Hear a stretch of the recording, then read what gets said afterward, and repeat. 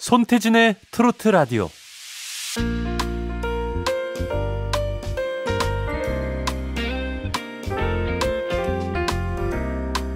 어느 소설가가 썼습니다. 어릴 때는 롤러코스터 타는 걸 좋아했는데 이젠 놀이공원까지 갈 필요도 없어요.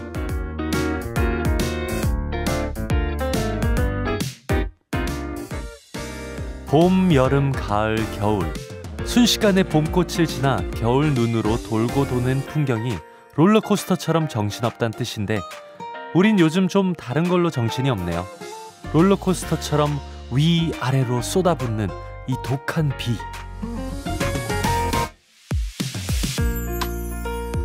밤새 안녕하고 오전에도 안녕하셨나요?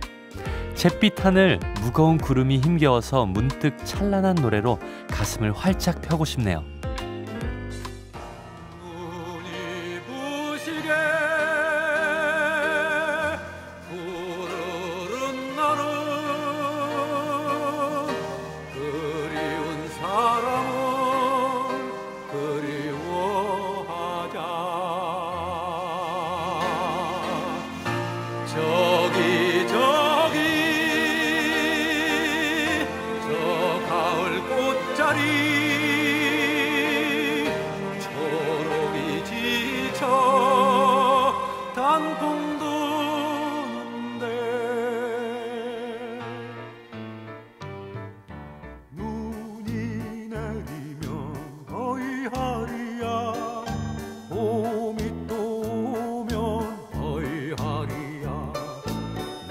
죽고서 내가 산다면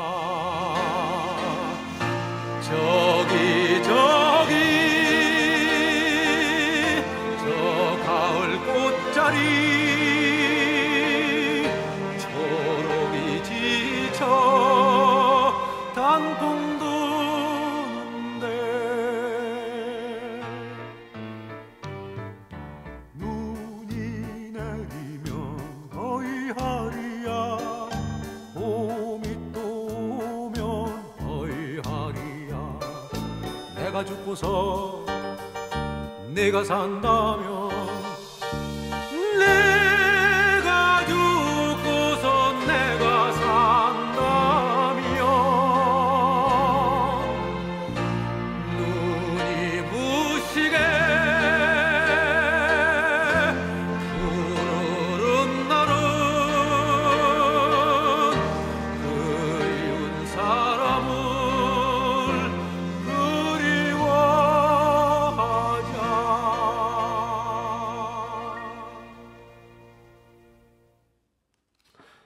송창식의 푸르른 날이었습니다.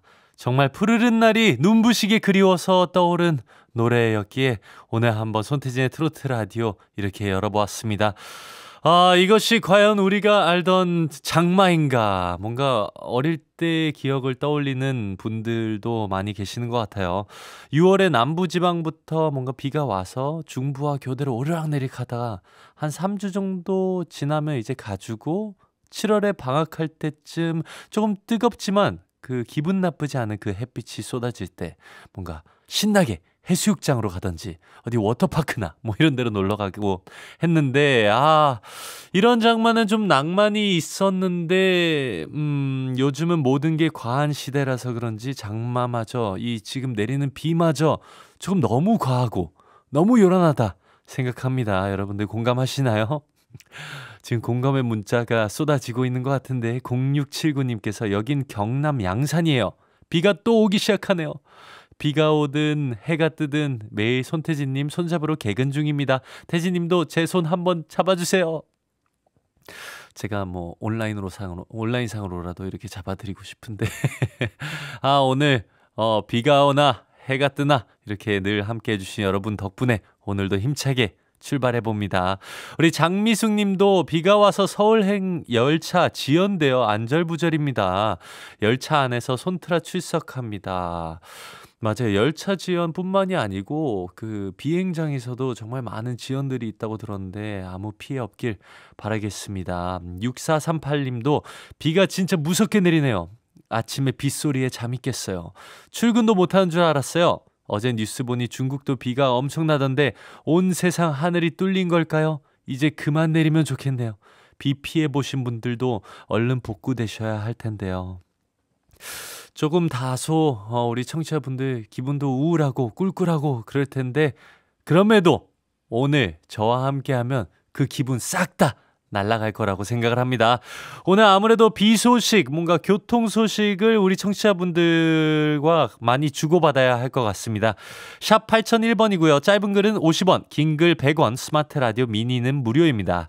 지금 그리고 유튜브 손태진의 트로트 라디오도 가동 중이니까 얼른 들어와서 좋아요 꾹 눌러주시고 그리고 출석 체크 많이 해주고 계시는데 와서 저 왔어요 이렇게 인사 주세요.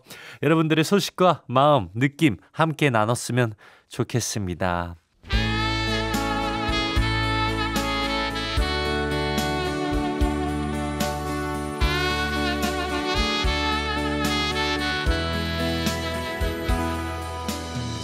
1923님께서 예쁜 엽서를 붙이러 우체국 다녀오는 길입니다. 성암로를 상암로로 써서 우체국 직원이 고쳐주었어요. 손재주는 없지만 꾸며서 보내고 나니 마음에 미소가 번집니다. 우리 1923님 사연 덕분에 저도 미소가 번집니다. 손태진의 트로트 라디오에서 예쁜 엽서전 엽서를 지금 받고 있습니다. 정성 가득한 손편지와 엽서들이 속속 도착하고 있는데요. 이미 늦은 것 같다고요? 아닙니다. 아직 늦지 않았어요. 7월 19일 소인이 찍힌 우편물까지 받으니까요. 어서 서둘러서 보내주세요. 보내실 곳은 서울시 마포구 성암로 267 손태진의 트로트 라디오 담당자 앞으로 다시 한번 서울시 마포구 성암로 267 손태진의 트로트 라디오 담당자 앞 우편 번호는 03925입니다. 손편지와 엽서 보내실 때는 여러분들의 전화번호도 꼭 남겨주세요. 당선된 분께는 푸짐한 선물을 특별상으로 저 DJ 손태진이 답장도 써서 보내드립니다. 생각난 김에 지금 바로 펜 한번 들어보시죠.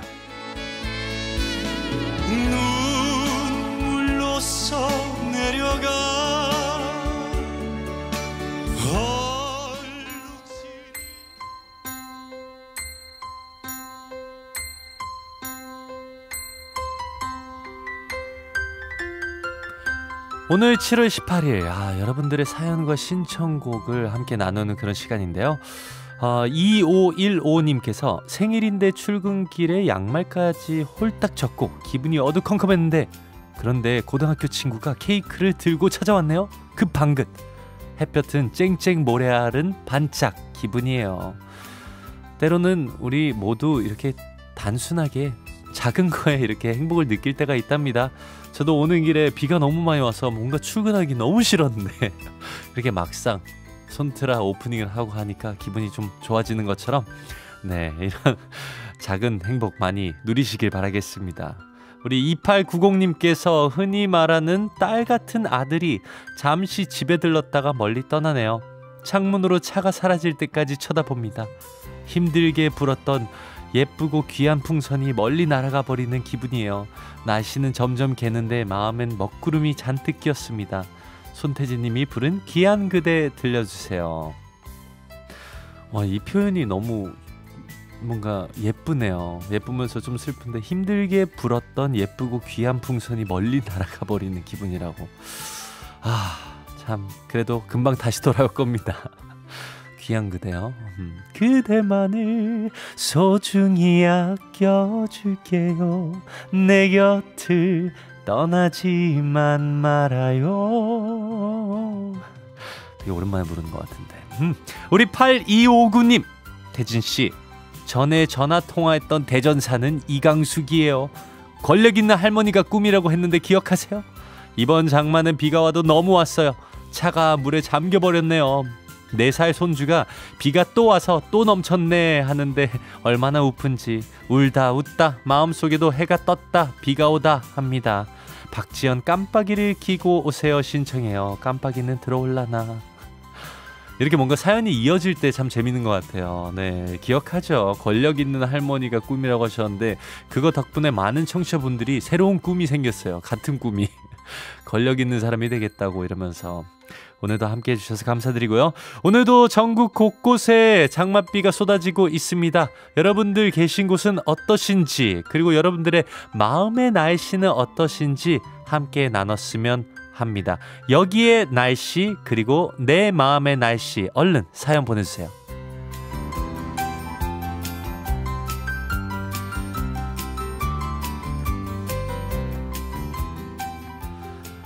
날씨가 참 야단스럽습니다. 중서부 지역에 있던 비구름이 점점 남쪽으로 내려가고 있는데요. 지금 계신 곳은 어떤지, 그리고 오늘 나의 기분, 나의 마음은 어떤 날씨를 닮았는지 보내주세요. 아, 저도 사실 어제 녹화가 좀 너무 늦게 끝나서 뭐 팬분들 중에서 아시는 분들은 아시겠지만 어제 저녁까지 포항에서 녹화를 마치고 새벽에 달려 올라오는데 와, 비가 정말 앞이 안 보일 정도로 오더라고요. 뭔가 그런 거 있잖아요. 차 안에서 잠자기 무서운 날씨. 그 정도였습니다. 어, 아마 밤새 진짜 뭐 제대로 잠도 못 자고 설치신 분들 많으실 것 같은데 그래도 지금 현재 뭐 전국 뭐 어떤 곳은 비가 내리고 안 내리는 곳도 있는데 여러분들 여기에 날씨 그리고 내 마음의 날씨 사연 보내시고 신청곡도 살포시 얹어 주시면 우리가 또 요긴하게 쓰도록 하겠습니다. 문자 번호 샵 8001번 짧은 건 50원 긴 건 100원 스마트 라디오 미니는 무료입니다. 우리가 또 특별히 사연이 소개된 모든 분들에게 지금 이 장마에 딱 필요한 선물이 있는데 어, 얼마 전까지 엄청 폭발적인 인기 때문에 우리 사연 메시지 통이 약간 터질 뻔했어요. 갑자기 50개를 나눠드린다고 했는데 불과 한 7분 만에 평상시에 들어오는 사연에 한 5배가 들어왔거든요. 네, 그렇습니다. 그 고급 우산 세트. 뭔가 내 돈 주고 사긴 아깝고 선물 받으면 기분 좋은 그런 선물 있잖아요.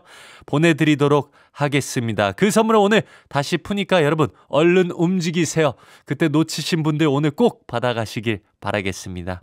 우리 8259님이 신청하셨죠. 정말 때로는 이런 장맛비가 깜빡이 좀 키고 들어왔으면 좋겠는데 그런 마음에 박지연의 깜빡이를 키고 오세요. 들려드릴게요.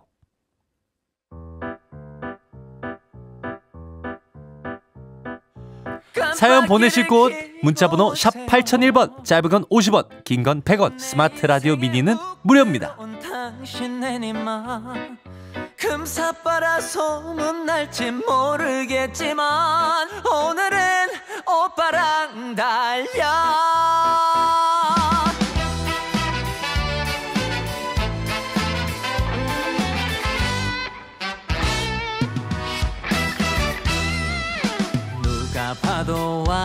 완벽한 오빠의 인생.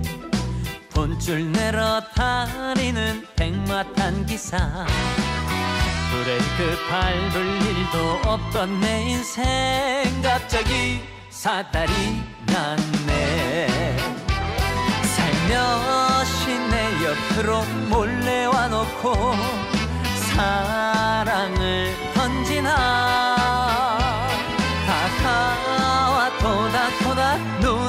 척해 날뛰는 이 마음 어쩌라고. 깜빡이를 켜고 오세요. 내 인생에 훅 들어온 당신 내님만 금사빠라 소문날지 모르겠지만 오늘은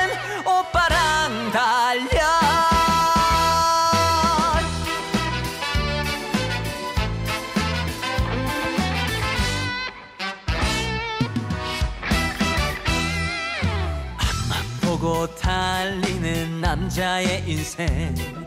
긴 하루 끝자락에 비틀거리는 술한잔에 내 청춘을 추스려보는 외로운 고독한 남자.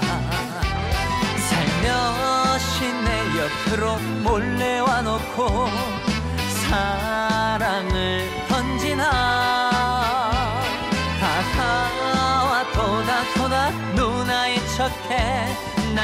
날뛰는 이 마음 어쩌라고.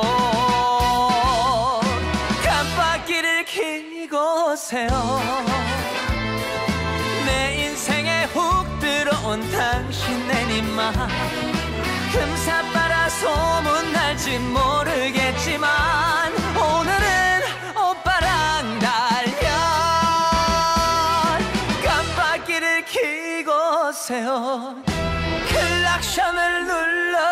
켜고세요 클락션을 눌러주세요